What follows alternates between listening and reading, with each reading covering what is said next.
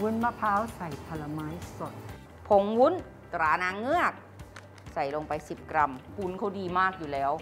เวลาคุณต้มเสร็จแล้วถ้าวุ้นเป็นลูก เนื่องจากคุณตั้งไฟก่อน โดยที่วุ้นยังไม่เดือดเนี่ยแบบพวกเราทำเกลือป่นเสริมไอโอดีน และวานิลาผงลงไป ระหว่างรอเขาเดือดเนี่ยทุกเมนูไม่ว่าจะเป็นคาวเป็นหวานนะ ใส่ลงไปแล้วเหมือนกะทิสดมาก ๆ ใส่ไข่ขาวตามลงไปคนให้เข้ากัน น้ำตาลทรายใส่ลงไป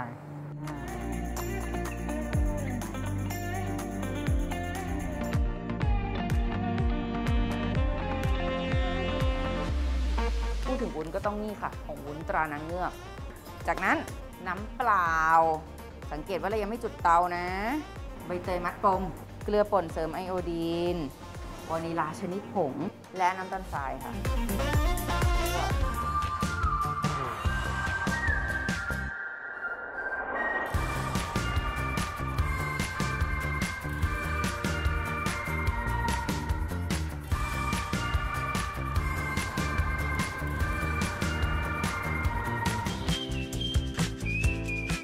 พอดีเป๊ะ